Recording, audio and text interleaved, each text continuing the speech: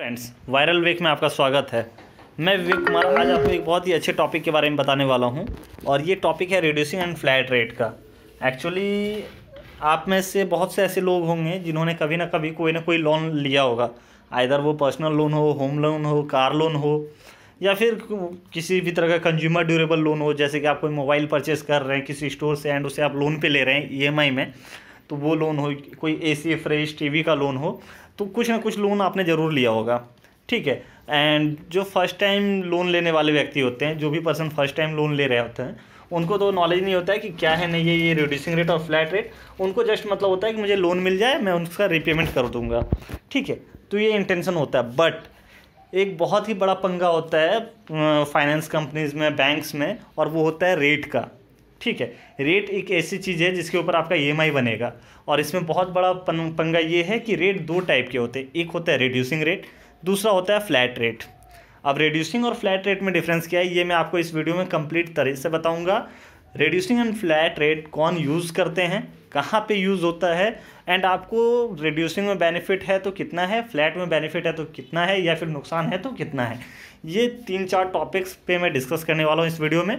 तो वीडियो को पूरा देखिएगा, आपके बेनिफिट के लिए चीज़ें, हो सकता है कि आपके पास भी कोई लोन चल रहा हो वेदर वो जो मैंने पहले बता चुका हूँ, कोई भी लोन चल रहा हो, और वो कहीं मिस्टेक से आपका हो सकता है कि किसी प्राइवेट फाइनेंसर के यहाँ से चल रहा हो, या फिर कहीं से भी चल रहा हो और वहाँ से आपका फ्लैट रेट चार्ज हो रहा है या रिड्यूसिंग रेट चार्ज हो रहा है तो इस वीडियो में आपको पता चल जाएगा कि आपको लॉस हो रहा है या प्रॉफिट हो रहा है। इन केस आपको लॉस अगर हो रहा है, आप देख रहे हैं कि नहीं, मेरा रेट ये जा रहा है और इतना महँगा पड़ रहा है, मेरा इससे कम में हो सकता है कहीं तो आप उस लोन को ट्रांसफ़र भी कर सकते हैं। ठीक है तो ट्रांसफ़र का जो प्रोसेस है, वो तो मैं आपको नेक्स्ट वीडियो में बताऊँगा बट इस वीडियो में मेन है रिड्यूसिंग और फ्लैट में डिफरेंस क्या है एंड दोनों में से प्रॉफिट किसमें तो सबसे पहले देखिए, मैंने एक कैलकुलेशन करके रखा हुआ है आप लोगों के लिए और कैलकुलेशन मैंने एकदम बेसिक अमाउंट पे किया हुआ है। ताकि आप लोगों को प्रॉब्लम ना हो। ठीक है, ये वन लाख के अमाउंट पे मैंने किया है, जिससे बेनिफिट क्या होगा कि सपोज़ आपके पास कोई भी लोन चल रहा हो, तीन लाख चार लाख पाँच लाख दस लाख का, या इवन ऑड नंबर में चल रहा हो, साढ़े पाँच लाख रुपए का, साढ़े चार लाख रुपए का, साढ़े तीन लाख रुपए का तो इस तरह का भी अगर अमाउंट या फिर तीन लाख बीस हज़ार, दो लाख बीस हज़ार, ऐसा कुछ भी अमाउंट भी रहेगा तो वो ईजी वे में आप कैलकुलेट कर पाएँगे। ठीक है तो ये देखिए, ये जो पहला कैलकुलेटर है, ये आपका है फ्लैट रेट में। फ्लैट रेट में क्या है? देखिए, मैंने loan amount one lakh rupees लिया है। लोन टर्म आप यहाँ देख सकते हैं फाइव ईयर्स के लिए एंड इंटरेस्ट रेट जो है एट परसेंट है।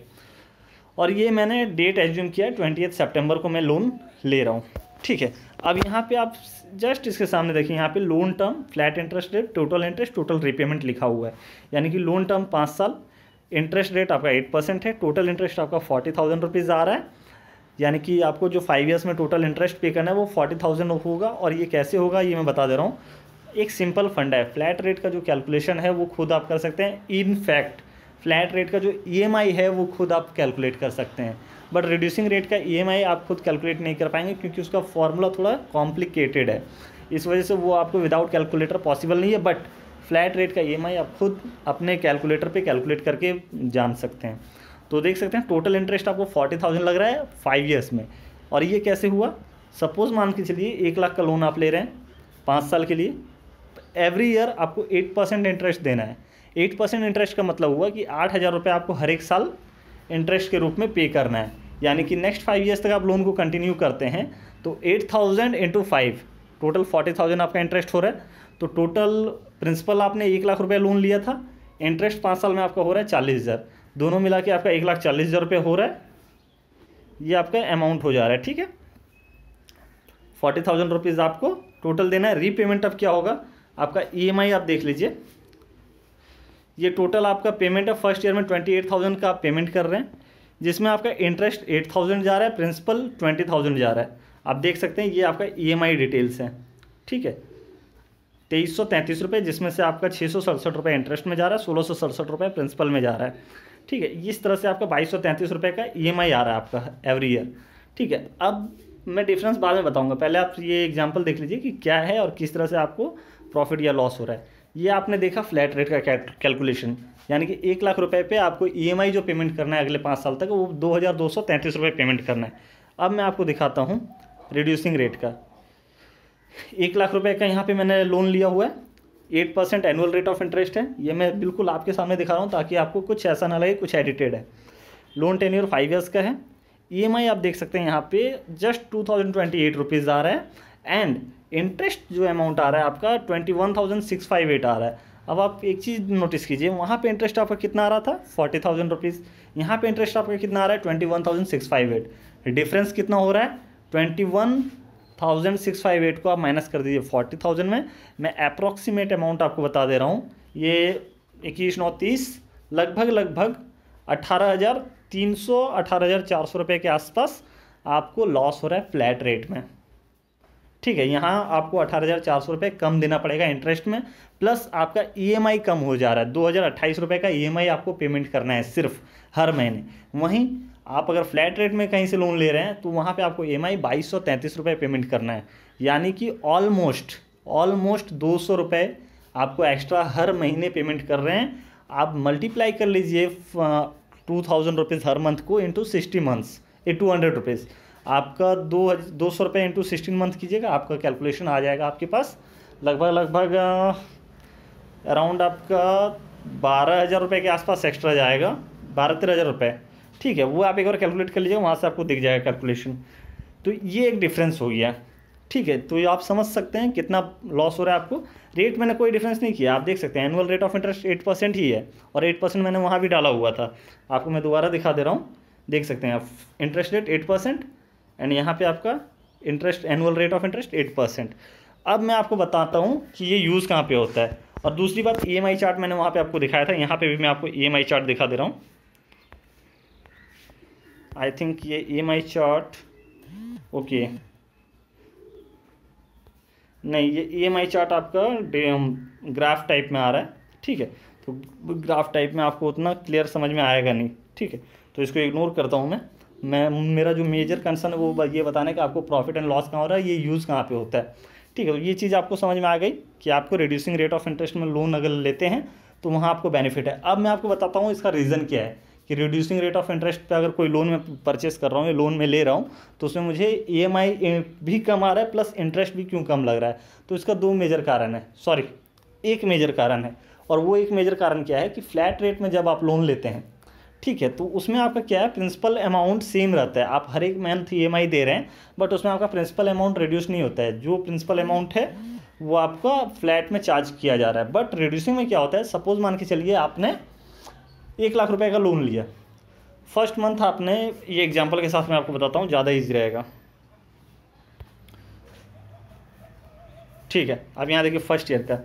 आपने एक लाख रुपए का लोन लिया। पहला ईएमआई आपने दे दिया, तेईस सौ तैंतीस रुपये तेईस सौ तैंतीस रुपये देने के बाद आपका प्रिंस इंटरेस्ट छः सौ सड़सठ रुपये जा चुका है। प्रिंसिपल में से सोलह सौ सड़सठ रुपये घट गया। ठीक है रिड्यूसिंग में क्या होता है कि आपने वन लाख का लोन लिया, principal amount one lakh rupees है आपका, वन लाख में से सोलह सौ सड़सठ रुपये घट जाएगा। सपोज़ मान के चलिए आपका ninety eight thousand rupees balance बचा। तो रिड्यूसिंग में क्या होता है कि जो ninety eight thousand rupees balance आपका बच रहा है, उस नाइन्टी एट थाउज़ेंड के ऊपर इंटरेस्ट लगेगा आपको, ना कि आपको वन लाख के ऊपर इंटरेस्ट लगेगा। फिर नेक्स्ट मंथ में आपका टू थाउज़ेंड रिड्यूस हो गया। Next month two thousand reduce होने से क्या है? नाइन्टी सिक्स थाउज़ेंड बचा। फिर आपको नाइन्टी सिक्स थाउज़ेंड के ऊपर इंटरेस्ट लगेगा, ना कि आपको वन लाख के ऊपर इंटरेस्ट लगेगा। तो ये सबसे बड़ा मेजर बेनिफिट होता है और जिस वजह से क्या होता है कि इंटरेस्ट में इतना ज़्यादा आसमान ज़मीन का डिफरेंस हो जाता है। ऑलमोस्ट ये मैंने वन लाख रुपीज़ के लिए कैलकुलेट किया तो इतना कम आ रहा है। बट अगर यही amount five lakhs ten lakhs कराएगा तो एक हेवी अमाउंट आपको इंटरेस्ट के रूप में दिखेगा कि आप तीन लाख, चार लाख रुपए, दो लाख रुपए एक्स्ट्रा दे रहे हैं। ठीक है तो इन सब चीज़ों से आप बच सकते हैं थोड़ा सा नॉलेज रखने के कारण। दूसरी बड़ी बात, ये एप्लीकेबल कहाँ पे है? तो कोई भी कंज्यूमर ड्यूरेबल लोन आप अगर लेंगे, ठीक है, कोई भी कंज्यूमर ड्यूरेबल लोन अगर आप लेते हैं तो उसमें आपका जो रेट चार्ज होता है, वो आपका फ्लैट रेट पे चार्ज होता है। वो आपको जैसे एसी टीवी मोबाइल वगैरह का लोन ले रहे हैं, वो फ्लैट रेट पे चार्जेस होगा। बट वहीं अगर किसी बैंक के थ्रू आप लेते हैं, ठीक है तो वहाँ पे हो सकता है कि आपको रिड्यूसिंग रेट में मिल जाए। दूसरा क्या है, कोई भी कार लोन ले रहे हैं आप पर्सनल लोन ले रहे हैं आप, ठीक है होम लोन वगैरह तो एनबीएफसी बहुत कम प्रोवाइड करती है, ठीक है बट एक और इंपॉर्टेंट चीज़ है कि जो फ्लैट रेट का फंडा चलता है, वो मैक्सिमम एनबीएफसी में ही चलता है, यानी कि जितनी भी एनबीएफसी कंपनीज़ हैं, जो नॉन बैंकिंग फाइनेंशियल सेक्टर्स हैं, वहाँ पे आपका फ्लैट रेट में ही कैलकुलेशन होता है फ्लैट रेट में ही आपको लोन प्रोवाइड किया जाता है, वहाँ पे आपका ये नहीं है कि आपको रिड्यूसिंग रेट पे लोन प्रोवाइड किया जाएगा। सपोज़ मार्केट में बहुत सारी एन बी एफ़ सीज़ हैं। महिंद्रा फाइनेंस है चोला फाइनेंस है मुथूट फाइनेंस है मुर्गप्पा फाइनेंस है। ठीक है तो इस तरह की जितनी भी फाइनेंस कंपनियाँ जना फाइनेंस है आशीर्वाद फाइनेंस है, अभी बहुत सारी एन और आ ही रही है मार्केट में। तो इस तरह की जो एन हैं, वो क्या है? फ्लैट रेट में आपको लोन प्रोवाइड करती है। सपोज़ कहीं मैं किसी एक का नाम नहीं ले रहा हूँ और प्लीज़ कमेंट बॉक्स में कुछ ऐसा मत मेंशन कीजिएगा, जिससे कि किसी को प्रॉब्लम हो। अगर ऐसा कुछ लगता है मुझे तो मैं उस कमेंट को ब्लॉक कर दूँगा। ठीक है? तो मान के चलिए आप कोई एनबीएफसी से कार लोन ले रहे हैं, ठीक है? कार लोन आपने लिया एट परसेंट पे, जो कि नॉर्मल चलता है, ठीक है? वैसे तो आपका कहीं से भी आप लोन लेंगे तो जो कार लोन का रेट वेरी करता है, वो एट परसेंट से लेकर टेन परसेंट तक वेरी करता है। कार के ऊपर डिपेंड करता है ये चीज़, ठीक है? इसका मैं एक स्पेसिफिक वीडियो आपको कोशिश करूँगा बना के मैं दूँ कि as of now current rate क्या चल रहा है। तो सपोज़ एट से टेन परसेंट के बीच वेरी कर रहा है। आपने किसी एन से लोन लिया, वहाँ पे आपको फ्लैट रेट में चार्ज होगा इंटरेस्ट ठीक है? अगर आप सपोज़ मान लीजिए वन लाख का लोन ले रहे हैं, आपके सामने एग्जांपल है फोर्टी थाउज़ेंड रुपीज़ आपको इंटरेस्ट पे करना पड़ रहा है। वहीं पे अगर आप किसी बैंक से लोन लेते हैं तो वहाँ पे आपको रिड्यूसिंग में मिलेगा। ये फिक्स है। आप किसी भी बैंक से लोन ले लीजिए वैद मतलब इंडिया में जितने भी नेशनलाइज बैंक हैं, कोई भी बैंक से आप जाके लोन लीजिए, आपको वहाँ पे रिड्यूसिंग रेट में ही लोन मिलेगा एंड आपको हेवी अमाउंट में इंटरेस्ट का बेनिफिट होगा ईएमआई में बेनिफिट होगा। दूसरा सबसे बड़ा मिसकंसेप्शन क्या होता है कस्टमर्स में? कि बैंक में जाऊँगा तो सही बट बैंक में डॉक्यूमेंटेशन ज़्यादा है। तो सबसे बड़ी बात बैंक में डॉक्यूमेंटेशन कोई ज़्यादा नहीं है। डॉक्यूमेंटेशन के मामले में आपसे एक दो चीज़ें एक्स्ट्रा मांगी जाती है इनकम डॉक्स वगैरह। उसमें भी क्या है कि अभी बहुत सारी स्कीम्स आई है, जिसके अंतर्गत एनआईपी के अंतर्गत आपको लोन प्रोवाइड किया जाता है। यानी नो इनकम प्रूफ यानी आपके पास कोई इनकम प्रूफ नहीं है। आपका बैंक स्टेटमेंट अच्छा है, आपने बैंक आप बैंकिंग ट्रांजेक्शन अच्छा करते हैं तो उस बेसिस से भी आपको लोन मिल सकता है। तीसरा चीज़ क्या है सपोज़ आपने कोई लोन ऑलरेडी ले चुका है, कोई भी कार लोन पर्सनल लोन आपने ले चुका है, क्योंकि होम लोन वगैरह तो मैक्सिमम बैंक से ही मिलता है तो वहाँ पे आपको रेट का वैसा प्रॉब्लम होता नहीं है। बट कोई कार लोन या पर्सनल लोन आपने कहीं से भी लिया सपोज़ बजाज फिंजर से लिया या कहीं से भी लिया आपने ऑलरेडी आपका लोन चल रहा है, आप ले चुके हैं। और आपको ये चीज़ पता नहीं था बट मेरी वीडियो देखने के बाद आपको नॉलेज हुआ कि आप वहाँ पर बहुत ज़्यादा इंटरेस्ट पे कर रहे हैं। ठीक है तो अगर सपोज़ मान लीजिए वहाँ आपका पाँच साल का लोन चल रहा है, चार साल का लोन चल रहा है कार लोन वगैरह या पर्सनल लोन वगैरह तो उसे आप ट्रांसफ़र कर सकते हैं। उसे आप अपने दूसरे बैंक में ट्रांसफ़र कर सकते हैं। विद सम कंडीशंस होते हैं, उस कंडीशन को फुलफिल करने के बाद आपका लोन ट्रांसफ़र हो जाएगा with low rate of interest दूसरा क्या है, आप टॉपअप ले सकते हैं। सपोज़ मान के चलिए कि आपका कोई कार लोन है वो लोन आपका कंटिन्यू चल रहा है बट क्या है कि आपको उसके साथ कुछ एक्स्ट्रा अमाउंट की ज़रूरत पड़ गई। देन आपने मेरा ये वीडियो देखा। वीडियो देखने के बाद आपको पता चला कि आप रेट ऑफ़ इंटरेस्ट ज़्यादा पे कर रहे हैं इंटरेस्ट ज़्यादा जा रहा है, आपका ईएमआई ज़्यादा जा रहा है। ठीक है तो उस लोन को आप टॉपअप करा लीजिए किसी बैंक में। बैंक में टॉपअप कराने से क्या होगा कि आप अपना पुराना लोन क्लोज कर सकते हैं। क्लोज करने के बाद वो लोन खत्म हो जाएगा बैंक में आपका लोन ट्रांसफ़र हो जाएगा और यहाँ से आपको टॉपअप के रूप में कुछ एक्स्ट्रा अमाउंट मिल जाएगा जो आपकी रिक्वायरमेंट को फुलफिल कर सके। ठीक है तो इससे क्या होगा? आपका रेट ऑफ़ इंटरेस्ट भी कम गया, आपको टॉपअप में कैश भी मिल गया एंड आपका एक ही लोन चल रहा है। दो लोन भी आपको चलाने की ज़रूरत नहीं पड़ रही है। तो ये सबसे अच्छा मेजर बेनिफिट है। अब टॉपअप कैसे होता है, इसके लिए तो मैं आगे वीडियो बनाऊँगा बट इस वीडियो में इतना ही। आई होप मैं आपको अच्छे तरीके से समझा पाया कि रिड्यूसिंग रेट और फ्लैट रेट में डिफरेंस क्या होता है। वीडियो अगर आपको अच्छा लगे तो प्लीज़ लाइक एंड शेयर करें एंड चैनल पे अगर नए हैं तो सब्सक्राइब करें।